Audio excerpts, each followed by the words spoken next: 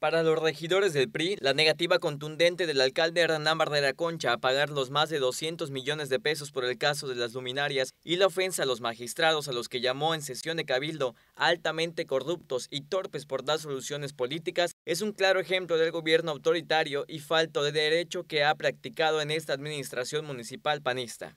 Una vez más, el alcalde Hernán Barrera Concha ha demostrado que vive en una burbuja porque ha dicho una vez más que no pagará un daño causado a las finanzas municipales por sus decisiones unilaterales y políticas, señaló el regidor priista Rubén Segura Pérez.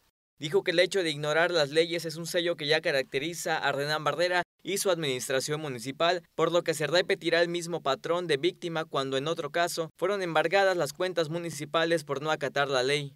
Los ciudadanos tienen que saber que las decisiones unilaterales del alcalde son la consecuencia de la grave afectación a las finanzas municipales. Tienen puerta un juicio por más de 200 millones de pesos y simplemente se limita a decir que no pagará por haber cancelado de manera unilateral un convenio con una institución financiera de prestigio. El verdadero daño lo ha causado Ordenán Barrera y ahora todos los meridanos pagaremos el autoritarismo y la soberbia del alcalde, dijo Segura Pérez. Agregó que un ejemplo de la falta de derecho es la ofensa que hizo Barrera Concha a los magistrados a los que llamó altamente corruptos y torpes. Es imperdonable que una autoridad municipal se dirija a los magistrados con ofensas y vituperios. Es simplemente un ejemplo del mundo irreal donde vive el alcalde.